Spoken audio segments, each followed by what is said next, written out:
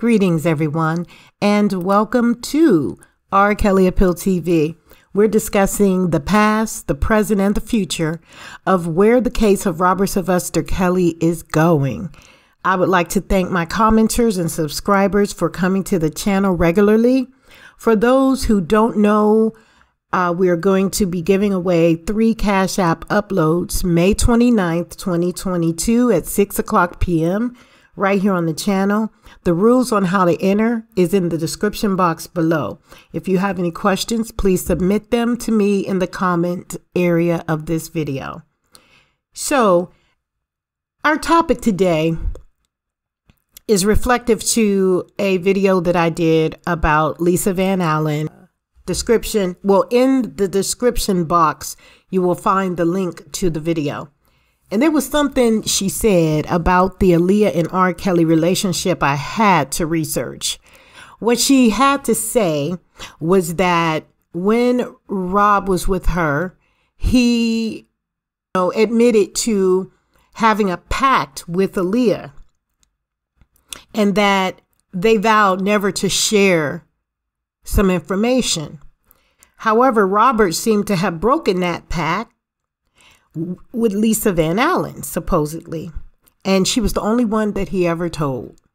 So I went a little bit deeper and I did a little research for myself and I found some things out. So I'm going to share those thoughts with you today. And it is relating to the R. Kelly and Aaliyah relationship.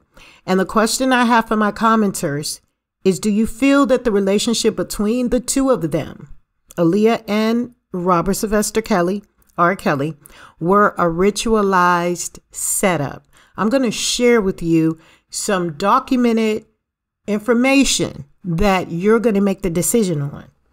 Um, if you feel it is, why? And if you feel it's not, why?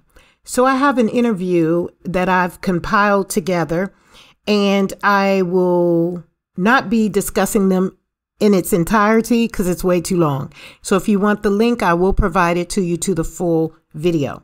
The first video is where Deion Sanders, I think he is the used to be the quarterback. I don't know if he's retired or not of the Dallas Cowboys. I'm not sure, but he's one of a football player and he's a professional quarterback and he talks to R. Kelly about receiving prayer. And I feel that this is a great way to start off the video because it's going to get very, very deep. Um, we all know the Aaliyah situation. However, I'm going to be as respectful to both Aaliyah and her family, Robert Sylvester Kelly, and his situation that he's going through right now. So let's go. We're about to get real deep. Brother Kelly, I've been trying to get in touch with you.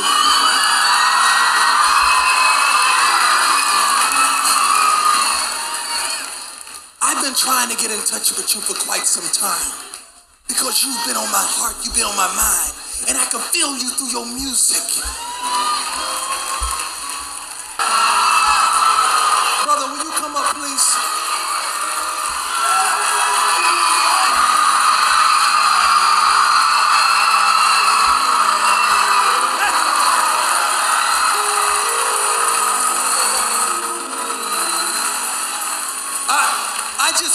Brother so deep in my spirit, dealing with some of the same things that I dealt with.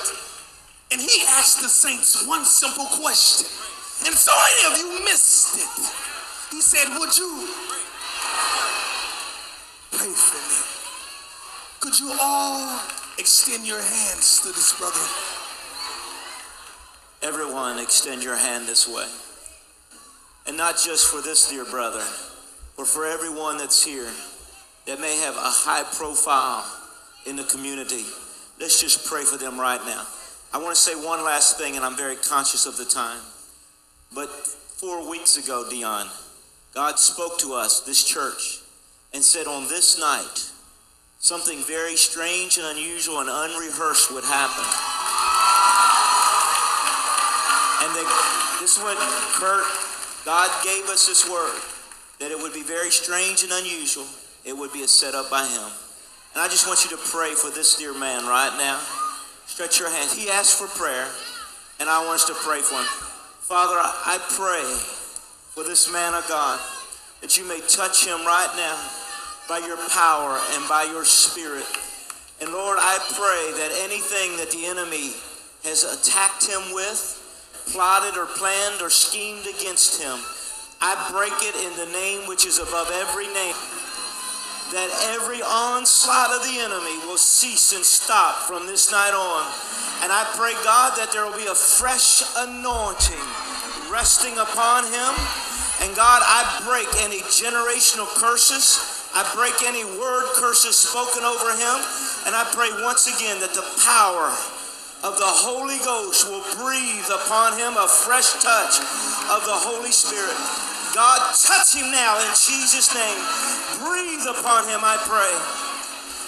Now, in the name of Jesus. Everyone say, in the name of Jesus. Touch him. There it is, sir. There it is. That's it. That's it. That's it. Now we're going to hear a word to R. Kelly from the Honorable Louis Farrakhan.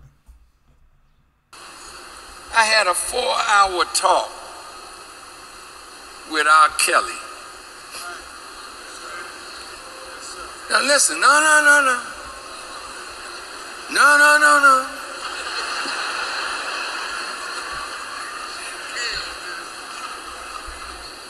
He came to our home with six of his friends.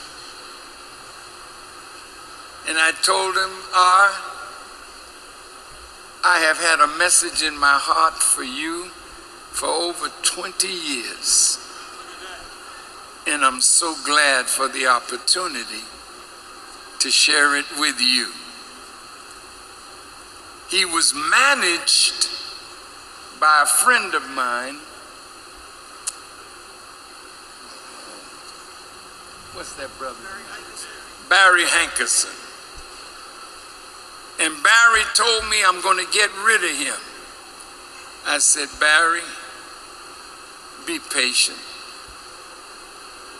I said, that boy is deeply spiritual. A man can't write no songs like that and not have God all up in him, but he's got to be cleansed. Do you understand what I'm saying? All of you in here have done something wrong. But you are not evil people. Somebody got to reach into you and bring out the God that's in you and clear you of your evil.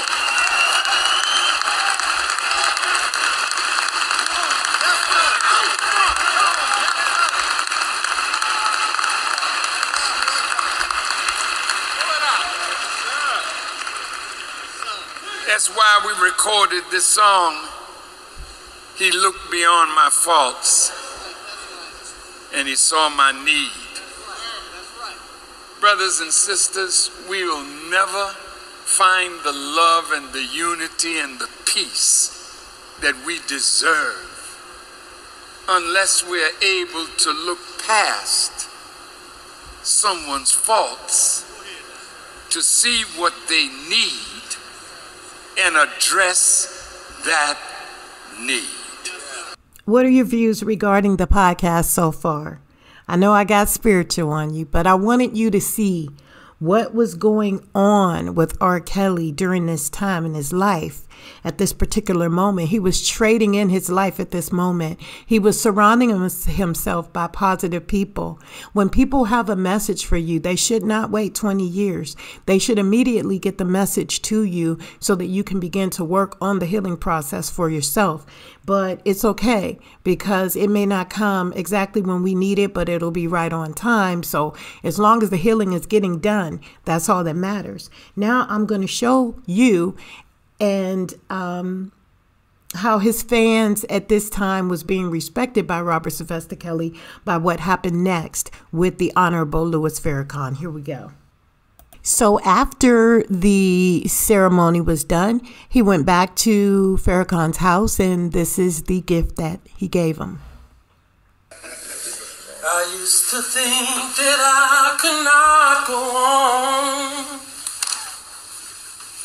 And life was nothing but an awful song. But now I know the meaning of true love. I'm leaning on the everlasting arms. If I can see it, then I can do it. If I just believe it, there's nothing to it. I believe I can fly. I believe I can touch the sky. I think about it every night and day. Spread my wings and fly away. I believe I can soar. I see me running through that open door. I believe I can fly. I believe fly. I believe I can fly.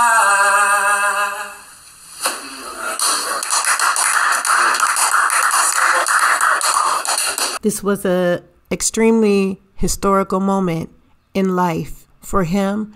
And, you know, afterwards he gave, you know, the Honorable Louis Farrakhan and his wife a hug. And so now we're going to move on to the main individual that ties a lot of this all together.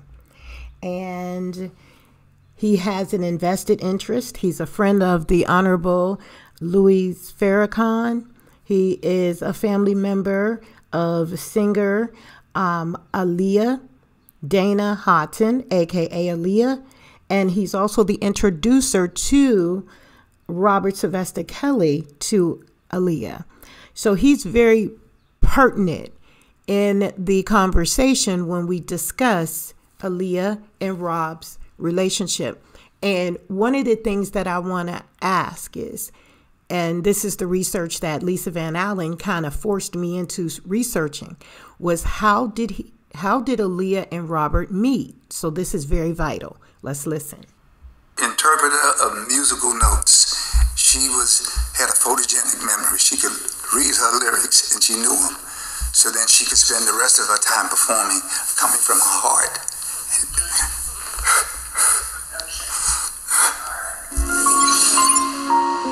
In a rare and emotional sit-down with Billboard's executive director of R&B hip-hop, Gail Mitchell, Aaliyah's reclusive uncle, Barry Hankerson, opened up about his niece's legacy, plus exclusively revealed her music will soon be hitting streaming platforms. It's been a long time since the fans could enjoy Aaliyah and other artists on our catalog.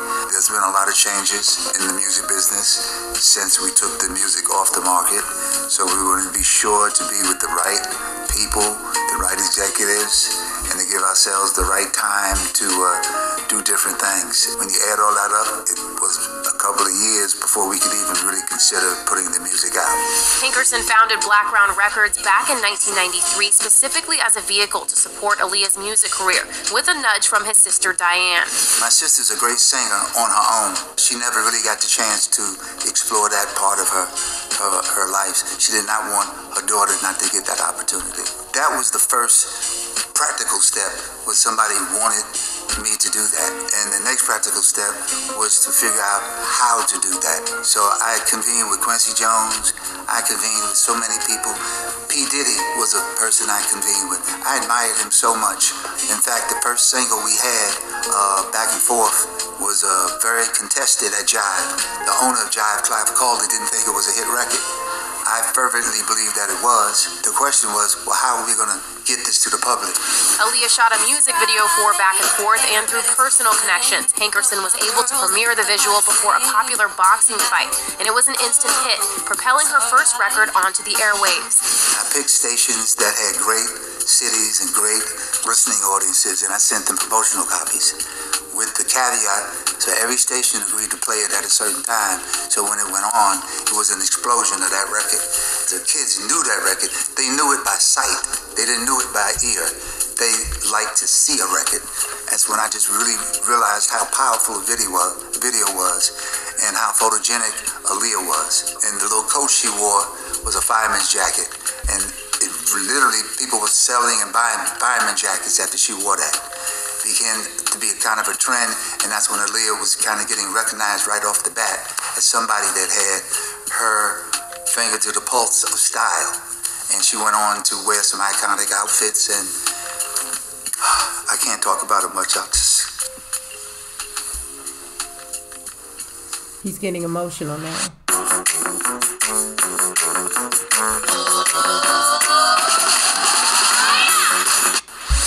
Aaliyah's sudden death in a plane crash in August 2001 at the age of 22 eventually led to her most beloved works going out of print. But now, in a new partnership with Bay Area based independent distributor, label, and publisher Empire, the entire Blackground catalog, not just Aaliyah's works, but 17 albums by artists including Timbaland and Magoo, Tank, Toni Braxton, and JoJo will be available to stream for the first time ever, and for both physical and digital purchase for the first time in a decade.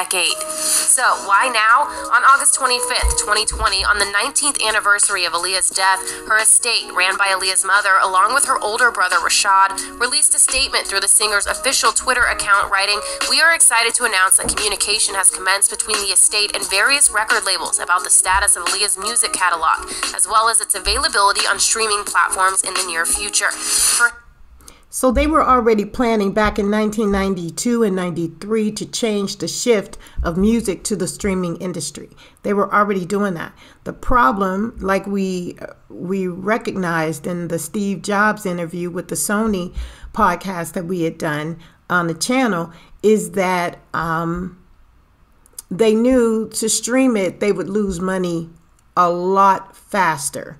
So they pushed people to hurry to promote people to do things at this given moment. And it's just so ironic how, you know, all of this came about when R. Kelly was just coming up. So as he was coming up, it was like they both were getting played by the system. And it seems as though possibly they could have both been uh, taken.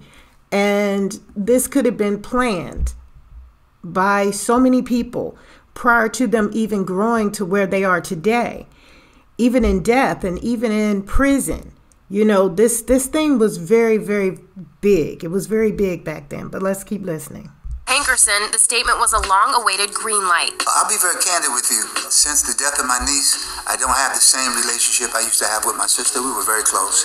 But when you lose a child or a niece that you really loved, it was difficult for my family. So a lot of things in my family changed. I really got my cue that she, my sister was ready to put the music out because she said so on the internet. I would have never dreamed that's the way I would have heard it. But she said it's time to put the music out because there was a conversation we had that she didn't want the music out. And whatever my sister told me, I tried to do what she wanted me to do. As a, as a parent, I would understand if she did not want the music out because who wants to hear the voice of your daughter who's gone?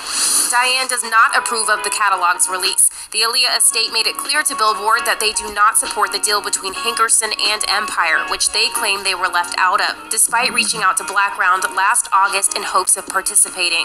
But Hankerson says his efforts were met with silence, so the plans with Empire are now in place. August 20th will see the release of One in a Million, followed weekly by a rough approximation of the original chronology of Blackground releases. Hankerson will also be relaunching Blackground as a new frontline label with distribution through Empire. When asked what Hankerson initially hoped to do when he first started Blackground, as compared to the label's mission statement today, he said this A very special signing of, of, of talent. As a black person, um, the only really resource that we have as a people in America are artists in music. An artist helps you bring forth what your people are about. And I had the good fortune to work with some of the biggest artists that ever lived. I was once married to Gladys Knight, which is still one of my favorite artists. I had so many mission statements, and I'm still I'm still looking at mission statements. I'm now really caught up to trying to help foster a, a, a system that an, an artist can come to some place and get heard and seen. I really really hope that in this next phase of Black background we can spot talent that maybe doesn't fit the cookie cut of what an artist is and bring them forward on our own platform to give them an opportunity to be seen. But there are still obstacles standing in the way. On January 15th, 2021, the day before what would have been Aaliyah's 42nd birthday and five months after tweeting that negotiations with labels had begun, Aaliyah's estate tweeted another message addressed to fans. We hear you and we see you. While we share your sentiments and desire to have Aaliyah's music released, we must acknowledge that these matters are not within our control and unfortunately take time. Adding, while we understand this may be challenging, we need the support of the fans Aaliyah loves so dearly until we can resolve all the issues in freeing her music. And though Hankerson took the estate's first statement on Twitter as a sign of new willingness to engage, he has not personally spoken to his sister about the matter. I'm very prayerful that she enjoys what we're doing. I'm prayerful that she supports what we're doing. But at the end of the day, we'll all find out probably at the same time. I miss her and I love her. I wish we had the same relationship we had years ago. I love my sister. Blackground owns the masters to Aaliyah's recordings, and because she did not write her own music or lyrics, the estate also has no stake in the song's publishing copyrights. Meanwhile, there are currently no plans to release a posthumous album of Aaliyah music, but Hankerson has been hard at work on new songs. We have some features.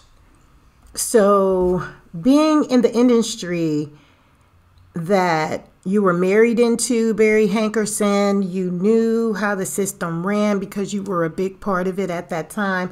You might have still been searching for financial balance at this time. So, is that why you put Aaliyah out there at such a young age and you forced her into an introduction of, of romanticism, of sexism, because that's what was selling at the time. So by the time she's 14 years old, she's coming out with ain't nothing but a number, which is a great indicator that we're not caring about the age gap. We're not even worried about that. She's saying it, so she never produced or wrote her own lyrics. So that was putting it out there. That was saying to the world, this is okay you know. Um, and as Aaliyah's mother always stated, that the goal was that Aaliyah wanted to be famous. And she started singing on American Idol, Star Search, very young. And so by the time she turned 15, she probably felt like she was 30 you know with all of the work and all of the energy that she put into her her powerful vocal impacts and you got to also remember too that R. Kelly got her started you know, he was the one that tweaked her voice. If you remember the story between um, the BET interview that we did on the channel when um, he was talking about his life in Chicago, he said, he even gave a clip in that video of how he treated Aaliyah when she was in the studio with them. And she was older by that time, I think 16, 17, somewhere around there. But to be conducted in such a way that seems so immoral at the time, knowing that this is a vibrant man, sexual man, I mean, to put her in that place, it makes me wonder it makes me wonder what are your thoughts there? Not saying that R. Kelly did not have a legal and moral obligation to be you know, upstanding in a sexual manner of respect. But if he has a sexual addiction, it's no different than someone having a addiction to alcohol and you put them in a bar. It's no different than someone having an addiction to um, drugs and you put them in a in in a in a trap house. You know what I mean? The question of the day is did Barry Hankerson set R. Kelly up with Aaliyah to create the storyline that we're experiencing today? Because you got to think, she was the youngest of all the women during the time, right when R. Kelly was stepping up to the scene in the industry. This is a question that make you say, hmm, because the only one who became the most popular celebrity mentored by R. Kelly during this time coming out the door was Aaliyah. And then she left and went on to become platinum at such a young age. And I do believe that someone had even made the the mention that doing the photo shoots in the Bahamas when the plane crashed, it could have been Barry Hankerson possibly rushing her from one exit to the other entrance so money could keep flowing because they only had a certain amount of time before the streaming industry was going to come into the knowledge of you know turning over musical rights. So they were in a real fast momentum of trying to get these music areas completed to where the catalog was finished, even all the way down to the the captain of the ship of the plane not being professional enough to drive the helicopter, not um, being finding drugs and alcohol in the system, and also being reported as not conducting himself in a manner before, and the plane literally having uh, issues four times. Why that plane? And then her being told, it, it was stated that she was uh, induced with something. I mean, it's just so crazy. It just all makes sense to me. What are your thoughts? So now we're going to move into another area that I think is very vital to this conversation. And I want to get your view on it. So let's get going. This is a video clip of R. Kelly admitting that he loved Aaliyah. And um, so let's listen. In 1994, he fell in love with an aspiring singer named Aaliyah. I don't mean to be bold, but I gotta let you know Aaliyah's got a thing for you, and I can't let go. But there was a problem. Kelly was 27 and Aaliyah was 15. Their marriage certificate falsely shows her age as 18. You loved her? Yeah. Yeah. Are you uncomfortable talking about her?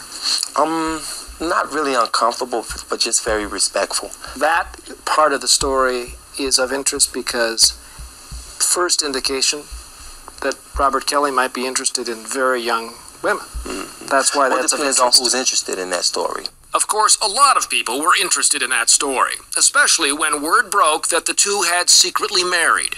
You tried to hide that at some point. that You didn't get married, but you no. did, right? I vowed that I would not even discuss any of the past, any negative things about Aaliyah. So my memories of Aaliyah. But, but that's not a negative thing, girl. though, that you loved her, is it? Oh, I already said I loved her. In 2001, Aaliyah was killed in a plane crash. Her funeral procession included a horse-drawn carriage and a white coffin. Even though Aaliyah and Kelly's marriage had been annulled years earlier by her parents, her death rekindled questions about Kelly's possible relationships with teenage girls. Do you think that it is immoral for an older man to have sex with an underage girl? Rephrase the question for an older man mm-hmm. to have sex with an underage girl, someone under 17, mm-hmm. do you view that as an immoral thing? If they're in love,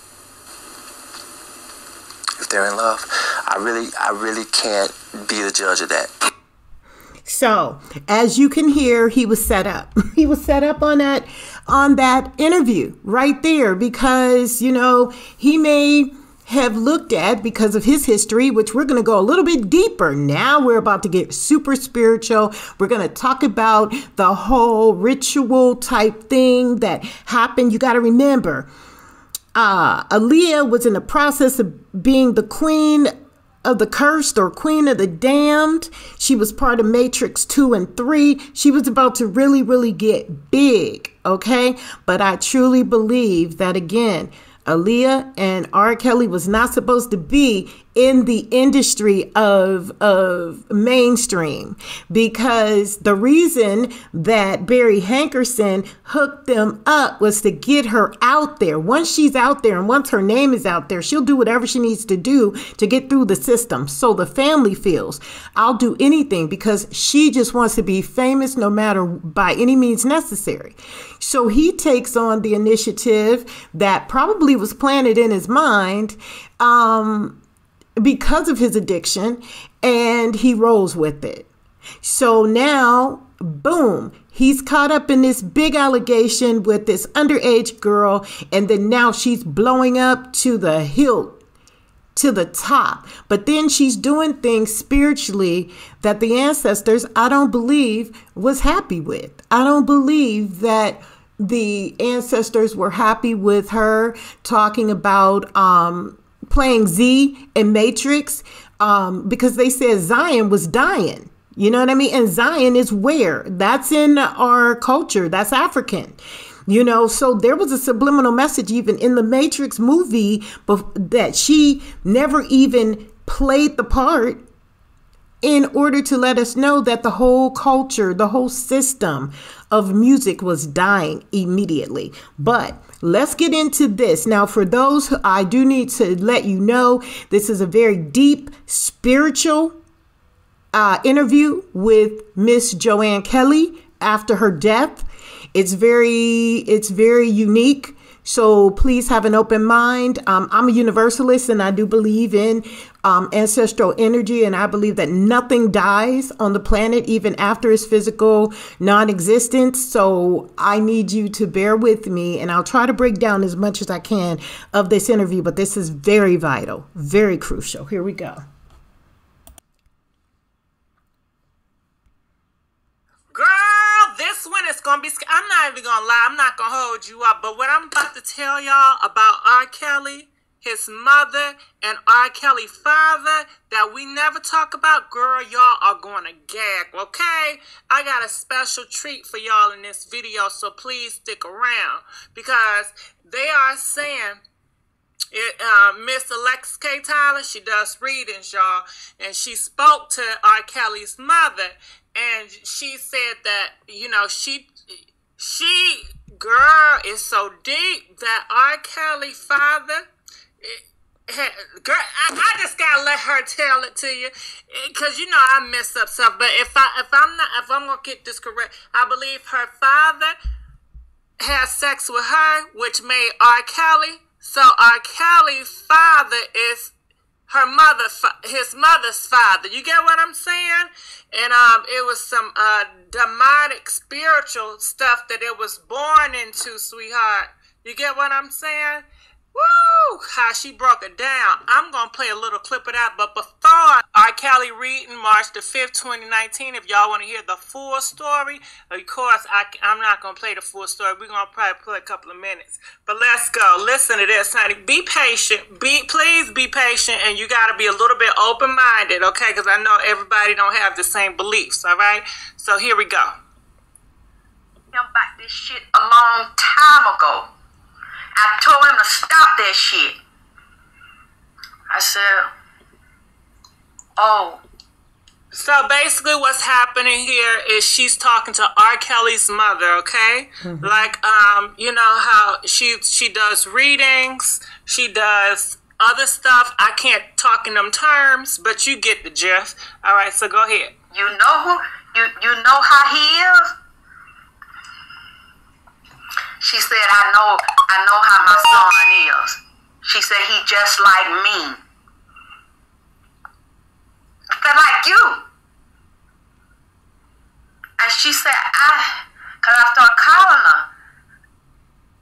And I, I said, you, can you hear me? She said, oh. Before she started telling me what she just said, she said, I've been asleep a long time. JoAnn, you hear me? You, you, wait. She said, yes. I've been sleeping. So I'd been out of it. I didn't remember. I had to check because I didn't remember, you know, when she died. And she said, he just like James Cleveland. I said, James Cleveland, the gospel singer? James Cleveland. She said, mm-hmm. I said, you knew James Cleveland? She said, I knew James Cleveland. I said, oh shit, I got to put R. Kelly and James Cleveland together Then I looked it up. James Cleveland was born in Chicago in 31. Kelly wasn't born yet, but his mother was. Allegedly, from what the mother was trying to tell me in the spirit, yes, Alvin, she was a boy lover. You know, they anointed James Cleveland the king of gospel, and they anointed R. Kelly the king of R&B, and both of them is goddamn pedophiles, allegedly, because they have scrubbed the internet. Now, I know some of y'all church folks is gonna get mad at me, so I will say allegedly, but this is what I know. I heard R. Kelly mother say just like that goddamn James Cleveland. He said they are just alike, and they're going to leave the same way. She said, he don't listen to me, and stop this shit like I have told him before my body died. He's going to leave here like the Reverend James Cleveland. She said, It's my fault. The reason why Robert is the way he is, allegedly. I said, What do you mean? She said that her family was an incest family and her daddy had sex with her. I said, what you saying, that your dad is R. Kelly daddy? Allegedly, she looked at me and said, yeah. That R. Kelly granddaddy is his daddy. Said, okay, well, maybe I'm hearing it wrong. Just in case you're not really saying your daddy, and she mentioned Mason, her father, was into the craft but this is the weird thing. If y'all could find something, please let me know. I never seen R. Kelly's father, and I couldn't find a name for R. Kelly's father, and I can't find a name for R. Kelly's grandfather, and I can't find a picture for R. Kelly's grandfather, which I think is weird. R. Kelly's brother Carey made a statement that R. Kelly's daddy is his grandfather. His own brother said this. And you see, they're very hush hush. You don't know no names, you don't see nothing.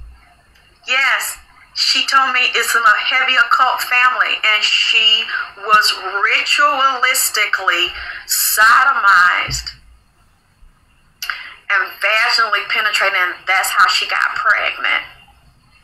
And i'm just staring at her and i said you you want to tell me this? She said i have to tell you. That's wrong. That's what's wrong with robert. And she said that I was inappropriate with my own son. I was very close with my son. But she said it was a little bit incestuous. And she say that she had R. Kelly around them men. Them church men said she knowed about it because she was she was born into a satanic and occult family. Kelly was man poor, so she was seeking one of me. Yes, but what I'm trying to tell you is, Alvin, she she couldn't help it. She was born into this game. She was already ritualistically set up to be sacrificed before she was born. When she was a baby, they just they picked her she she was a little girl. That's what she's saying to me. And then they picked Robert, his father, which I I am saying allegedly, from what she's telling me, I am feeling that the father is genetically a relative of the mother. Like the mama daddy. I'm t- Y'all, I don't want to say this.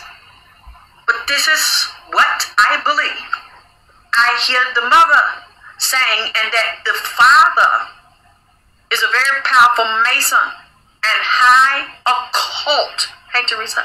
High occult Voila. She couldn't help it. She said she had no no power, no rights to speak. She was a child. So then she's told what to do. I'm gonna tell you where it came from. She said, I, I did it. R. Kelly was little men's was sucking allegedly was sucking R. Kelly off. They was church men's. And men started to give him money. Just so I told you it was gonna get deeper. Um JoAnn said it was her fault. That, you know, we don't know the historical background that created his sexual addiction, R. Kelly's sexual addiction. So, it, could it have been a ritualized practice that at a certain age a woman must be sacrificed in order to keep the elevated dimension of superstar status? Um, could Aaliyah have been involved in this same ritual? Because somehow or another she got out. And there's something that happened to where maybe she went against the grain of the ritual and started working on territories of her own. And she got out of the um, umbrella of the cult or whatever you want to call this um, ritual. And that could have been because she was spiritually messing with some dark energy she was familiar with. I mean, because if you look at, like I said, the Queen of the Damned or Queen of the Cursed, she was doing a ritual in that in that movie. I remember it. I remember it very vividly, but I don't remember watching the whole movie. I just remember that ritual. So, what are your thoughts about this? Um, this just came to me um, after doing the research from what Lisa Van Allen was saying about the pact between Aaliyah and Robert. So I'm bringing this out because I feel that people should know um, why, if we're speaking in specifically on Robert Sylvester Kelly, how his addiction came to be. Did anybody recognize that? Has anyone heard of that story before? And if so, could you link us if you know who its father is, where his father's at, um, why JoAnn? Because I know in the book, she specifically got on him when he asked about his father. When other people when when other sisters and brothers were going around you know seeing their fathers. So i um she said Carey said that statement that r. Kelly's father was his grandfather. Now i'm not promoting gossip in any way shape or form. I'm just trying to make sense of all the research and that was a part that I really didn't want to bring in here, but I had to because of the fact that this is so deep. So, what are your thoughts? And what about all the other people with big money who got away with doing things with minors and, you know, being promiscuous? And it's like the rules are set up to protect those with power. And imagine the power that R. Kelly had at this time. And even that wasn't enough to remove the stigma of this whole ritual and this whole sexual um, addiction thing, um, let alone an everyday person who's caught up in the system. Um, that's caught up in the system, man. You know, um, it's really, it's really something. It's very ironic. And for all this hell breaking loose in his life at the time when he was just coming up shows that maybe he wasn't supposed to be part of the mainstream music culture, no matter how talented he was. He was not supposed to be there because with that came all this. Okay. Now, um, I did have one more thing that I wanted to talk to you about. Um, but I think this is enough for today. Um, I have a little bit more research on Aaliyah. I'm just, you know, let's do an interview with her and just to clear the air and bless her energy. Let's go. Years old. But Demetrius testified that he didn't do this alone. Actually, he and a few other members of R. Kelly's inner circle accompanied R. Kelly and Aaliyah to a Chicago area city hall where the couple applied for marriage license. So a lot of people were witnessing this and allowing it to go down. Shortly after they obtained their marriage license, they actually married in a Sheraton hotel near the Chicago O'Hare Airport. It also looks like they had a minister there officiating the wedding, which again, like as someone who is kind of religious, like holy crap, how can you trust the church if they're over here witnessing this and allowing it to happen and marrying them? As you guys know, the marriage was annulled in February 1995, so they weren't married long. But it actually looks like R. Kelly has admitted to getting physical with Aaliyah back in the day. This article reports that R. Kelly finally admits to having underage inappropriate contact with Aaliyah. In a statement to The Independent, one of R. Kelly's lawyers wrote that the defense does concede that R. Kelly had underage inappropriate contact with Jane Doe number one. The reason why Aaliyah's name isn't included here is because they didn't want to include it because she passed away back in 2001. She's legally unavailable, so she's just Jane Doe number one. I truly hope that justice is served because R. Kelly has done so much damage. It's time for him to be held accountable. I mean, there are so many victims right now pressing charges against him that there's no way in hell he's not going to get some type of criminal charges, but it's a little bit too late for Aaliyah because, as you guys know, she unfortunately passed away. So before we talk about her relationship with Dame Dash, let's go ahead and talk about the tragic plane accident accident that took Aaliyah's life. In late August 2001, Aaliyah was in the Bahamas filming a music video for her song Rock the Boat. After filming the music video, she boarded a plane with a couple of her team members, but less than a minute after taking off, the jet fell from the sky and plummeted to the ground just 200 feet from the runway. Aaliyah was one of six passengers who died at the scene, while three others died a few hours later. It's pretty incredible to think that one of the biggest celebrities at that time could pass away in this manner because if you think about it, if a plane goes right up and right back down, there's obviously something wrong with that plane. So, who prepared this flight for Aaliyah, and why was she boarding a plane that was clearly unsafe? A few years after the crash, the National Transportation Safety Board launched an investigation that revealed several irregularities.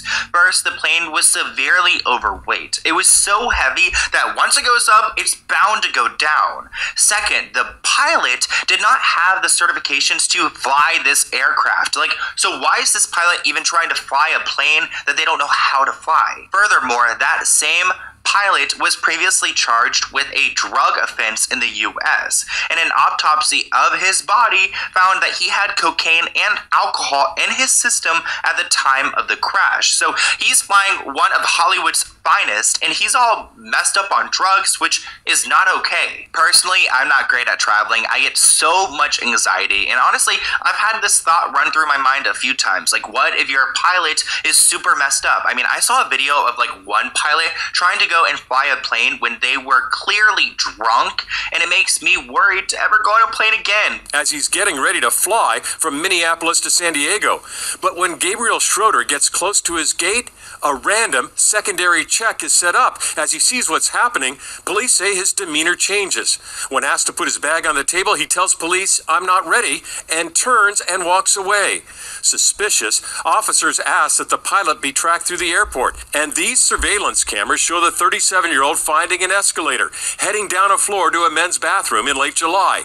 He's in that bathroom for only 30 seconds, where police say they later found a bottle of vodka stuffed in one of the trash cans. Now, let me tell you, I have driven, I have been a passenger on a plane, and when you take one shot, you're feeling so super good. You're it's there's a difference when you take a shot on an airplane. It does something way different than it does on the on the ground. So I know I would never be able to handle a plane, let alone keep my eyes open. Wow. But, anyways, that plane in particular had some problems. This article claims that the plane itself had been cited four times in four years before the fatal crash, including once for a safety violation. Other reports pointed to there being too many people, as well as excessive baggage on board. It also looks like another pilot noted that our original pilot, who was on all these drugs, had issues getting one of the engines started, so this plane was doomed from the beginning. This article also reported that Aaliyah's team got into a heated argument with the pilot because of the excessive weight, but ultimately went through with the flight anyways. This article claims that Aaliyah was an anxious flyer, which honestly, same, in that she would not have gone on this plane with all of this excessive baggage. Actually, they note that there was a chartered plane set to pick her up the next day. So, why did she get on this small plane where they were arguing? Arguing about whether to fly it or not. It seems like Aaliyah would have just stayed behind if she had the choice to. If she had the choice to. And I believe that she was on schedule and she was running so far behind schedule. And I, I, do remember her saying that she wanted to get home to her boyfriend, Damon Dash, or whatever, and that somebody else had set up the flight itself. So, what are your thoughts on that? I mean, she was trying to get to another location because she could have, like he said, waited one more day. One more day. Wow, what are your thoughts? But it appears that Aaliyah didn't have a choice. And actually, it was recently revealed that she was drugged before getting onto this plane because Aaliyah didn't want to go. So they gave her a pill and made her pass out. They put her onto this plane that was extremely overweight. The weight was not even distributed properly, it was uneven. They flew her and quickly crashed. And a shocking claim making headlines. Ayandali alleging the artist may have been medicated before boarding that fatal flight. I had to tell the story as it was told to me and as the um, off record multiple people who spoke about the, the incident said to me as well. You can't be told that someone was handed a pill and moments later was brought upon a plane. After moments before that, she was adamant about not getting on. Now, whatever that pill was, I can't say. But what I can say is that she didn't want to get on the plane. Well, why didn't they do an autopsy of the blood toxicology within her body? Because they could have definitely told, found that she, if she was drugged or not, right? Did anybody ever hear that they did a toxicology report on Aaliyah? Because if they did it on the pilot, why wouldn't they have done it on Aaliyah if people were saying that she had been drugged? Just a question, curious. But what I can say is that she didn't want to get on the plane. So let's talk about this book that claims that Aaliyah was drugged and forced to board the plane before the fatal crash which again that makes me think like okay who set this up who tried to plan to get rid of Aaliyah by doing this. The book is titled Baby Girl, better known as Aaliyah, and they claim that the singer refused to board the plane. She wasn't getting onto it, but she was given a sleeping pill and was carried into the plane while fast asleep. The person who revealed this information is named Kingsley Russell. He was only 13 at the time of the tragedy, but he was working for his father's taxi and hospitality business, so he was helping Aaliyah's team with the baggage. His mother was actually Aaliyah's driver during her time on the island, and his aunt was handling the team's transportation and scouting locations for filming. Actually, his aunt, Annie Russell, testified back in 2003 that she was concerned about the team having too much video equipment on the plane. What's bizarre about this Russell family is that they have tried speaking about this before, but they seem to be silenced. Actually, Kingsley Russell posted a YouTube video that's now been deleted where he explained how the bizarre death of Kobe Bryant with the helicopter crash was triggering because it reminded him of the day he watched Aaliyah being taken on board of the fatal flight while she was asleep, knocked out by a pill that a member of her team had given her. And I also read in another article that in the Matrix movie, the same a month before or after Aaliyah dies, one of the characters on the Matrix set dies one month either before or after her. Some lady named Gail. And I ran into that information. So, what are your views on that? Like, do you feel that there was some things being twisted around or moved around in order to protect the reality of what was really going on so we wouldn't be able to ask Aaliyah any questions because the, she was getting ready to get into the hot seat because if she had been alive, she would have definitely been forced to testify, I believe. So, what are your thoughts on that? Would she have been able to make it through the testimony um, with this pact, this ritualized pact? Kingsley Russell explained that they were already experiencing a two hour delay due to the plane's late arrival. He claims that Aaliyah grew even more flustered when she finally saw the small plane and refused to board it. At the same time, the pilot was insisting that the plane would be too heavy with eight passengers, including Aaliyah's 300 pound bodyguard and all of their luggage and video equipment. Aaliyah was pushing back against her team, and she actually climbed into the taxi van complaining of a headache, and she said she was going to try to take a quick nap. Meanwhile, her camp continued to try to convince the pilot to fly them with all of their luggage. Eventually, Kingsley claims that one of Aaliyah's team members came to check on her, and she reiterated that she did not want to get on the tiny plane and that she had a headache. At that moment, that team member brought out a pill. Aaliyah took the pill and fell into a deep sleep, which she remained in when the pilot finally agreed to fly the group back to Florida. Kingsley. That sounds like a Walt Disney movie, like Anastasia or, you know, Swan, the, the, the Swan Princess, the, the, the very thing that creates the storyline to the truth. And um, I'm not sure, but again, I asked the question what was her toxicology report? That would have simply explained everything said they took her out of the van. She didn't even know she was getting boarded on a plane.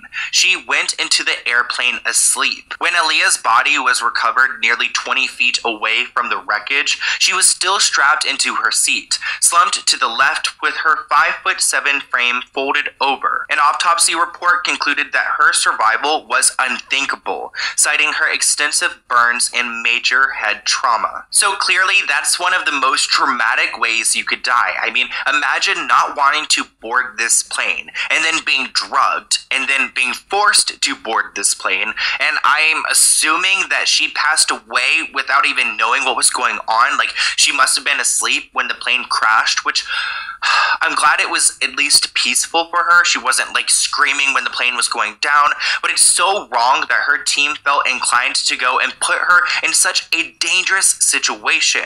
You guys might be wondering, what does R. Kelly think of this? Because you guys know they dated and all that, but actually, at that time when she died in the accident, she wasn't dating R. Kelly, and she moved on and had a whole new man. Aaliyah was in a relationship with Dame Dash. He's the co founder of Roc-A-Fella Records. There are a bunch of conspiracy theories about Aaliyah's passing. This article writes Some theories claim that Aaliyah's link with these industry moguls ultimately led to her death. Two weeks before the crash, Aaliyah was spending time at the summer house owned by Dash and Jay Z in East Hampton. There is one outlandish conspiracy about Aaliyah's death. It includes Dame Dash, Jay Z, and Beyonce, the Illuminati. Honestly, I don't know how much I believe of it, but I'm going to include it. Here it goes. The claim that the Illuminati runs the entertainment business is hardly new. It should, therefore, come as no surprise that one popular theory around Aaliyah's death is that she was killed as a sacrifice, with many citing Jay Z, Beyonce, and Dash as the main offending parties. As with most of these theories, proponents of it believe Aaliyah wanted to get out of the society or maybe even reveal the truth about it, and this believed to be what got her killed. I- now, I did read something also, real quick, to interject that Beyonce would not be who she was if Aaliyah was still alive. I don't know. That was a um, article that I glanced over when I was doing this research. So, what are what what are your thoughts on that? Again, I don't know how valid that theory is because it implicates Jay Z and Beyonce and this uh, Dame Dash guy. So I don't know if I necessarily believe it, but Aaliyah was in one movie during her time that actually kind of reflects that same conspiracy theory. The movie is titled Queen of the Damned. It's about blood drinking vampires in the music business who plan to take over the world. Now, mind you, vampires was Aaliyah's thing. She loved vampire, vampire movies and different things like that. So this was the video that I was saying that she was messing with the ancestors' energy, that dark energy. You cannot mess with that. You cannot mess with that unless you're going down that path and you're going to, whatever happens, happens. You know?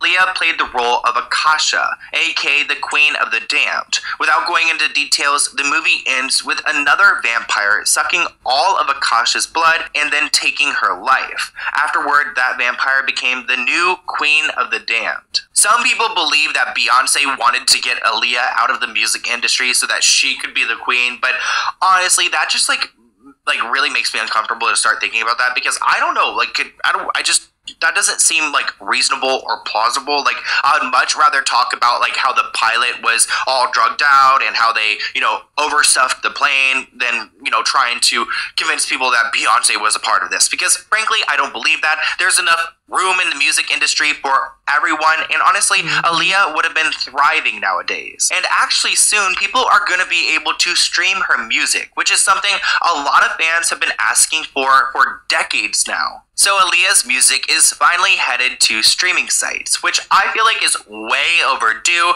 but it actually looks like her family isn't ready yet. You guys remember Aaliyah's Uncle Barry? Well, he actually owns the rights to her music, and he claims that there have been arguments and disagreements within the estate, and that's why the music hasn't been available. It actually looks like Aaliyah's mother, Diane, didn't want the music out. Uncle Barry said, As a parent, I would understand if she did not want the music music out because who wants to hear the voice of your daughter who's gone? So when she said that to me, I said, okay, we're not putting it out. I don't know when, but one day we will. I don't know what's gone down between Uncle Barry and the rest of the estate, but it looks like he's ready to release the music under Blackground Records, and it doesn't look like Aaliyah's parents want it out. This message was posted to Aaliyah's social media account, and they wrote, Protecting Aaliyah's legacy is and always will be our focus focus. For 20 years, we have battled behind the scenes, enduring shadowy tactics of deception with unauthorized projects targeted to tarnish. We have always been confused as to why people are causing more pain than what we've already had to cope with. Now, in this 20th year, this endeavor to release Aaliyah's music without any transparency or full accounting to the estate compels our hearts to an expressed word forgiveness. It also looks like the family is going to defend themselves. Uh, they write, although we will continue to defend ourselves and her legacy lawfully and justly, we want to preempt the inevitable attacks on our character by all the individuals who have emerged from the shadows to leech off of Aaliyah's life work. So it sounds like there's a group of people who are trying to get Aaliyah's music out there, trying to make more money off of her and everything she's done, which honestly, they can make a ton of money off of her. But her family wants to respect her legacy, and honestly, they want other people to respect their wishes, but it doesn't look like they're to get that. At the end of the day, if Aaliyah's parents don't want the music out there, it shouldn't be. No matter how much or how badly we want it on streaming services, which, trust me, I am ready for it. But we can't be that selfish. And it just shows that people in the industry are working overtime to deceive this family and try to get this music out there. It makes me think who's actually going to be making the money off of this music. I have no idea. But I hope that Aaliyah's legacy can outshine all of the corruption in Hollywood, her horrid relationship with R. Kelly, and the tragic accident that took her life. She is so much more than these dark moments influence in her life, and I know that she will be remembered, but we must embrace her for the right reasons because she's someone who we ultimately failed. We allowed her to be in this relationship with R. Kelly. Her team allowed her in a dangerous situation that ultimately took her life, and it's time to put some respect on her name. So I hope you guys enjoyed this video. I love Aaliyah, and I just think it's time to really embrace her now that 20 years have gone by. And so that is the interview that I want to share about Aaliyah, and may she rest and may she be happy where she is. Um, I'm going to read a few comments and then we're going to be done. Um, another fun fact was that Aaliyah graduated with a 4.0 grade point average. Not only was she incredibly gifted, but she was also very intelligent. And this goes out to S104N, um, Basca Bomb Boomin Brows. I'm genuinely worried about your sleep schedule. You managed to research these topics, organize clips, and put them into an easy to digest video. And on top of that, you post twice a week. Thank you. He is a phenomenal researcher. I really, really like him. Um, JD, eight months ago, she always had the saddest eyes to me. You could tell the moment she was truly happy and the moment she was not, and putting on a brave front for the cameras. You could tell if she had more time on earth that she was going to get rid of the lame circle around her, especially the people who put her on the plane drugged and grow into her own. Gone, gone way too soon. Rest in heaven. Miss Packnett, the sad part for me is that Aaliyah's legacy is always going to be tainted because she will be associated with the group. Aaliyah was such a talented singer and she has such a great fashion sense and was an amazing actress. I'm sure she would have been huge if she was still alive today. It's so sad that it's been 20 years since she passed, and it's still frustrating that all of her music is in streaming so other people can listen to her music. She was just an icon, simply put. One more. Michelle says five months ago, for those of you who weren't around during the time she was alive, I'll just say that she was a huge star. Beyonce was just starting off as a solo artist, so Aaliyah was it. I was nine years old and my friend ran from her house and told me that she died in a plane crash. I literally did not believe her. I couldn't wrap my head around how a star of that magnitude can just die it was definitely a huge loss for her fans. Yes, it was. And again, may she be in peace. May the family um, receive our condolences. And hopefully, this video has respectfully put respect on her name um, and clarified some some things that I believe that any appeal court judge should want to hear. Um, and we thank you so much for liking, commenting, sharing, and subscribing to this channel and listening to this podcast. Um, again, the description box information is below if you want to um, apply for the winning for the Cash App giveaway May 29th. Three people will be um, gifted uh, $25 on their Cash App upload on that day, 6 o'clock and the rules are in the description. So thank you so much again. And as always, keep it 100, and we'll see you next time.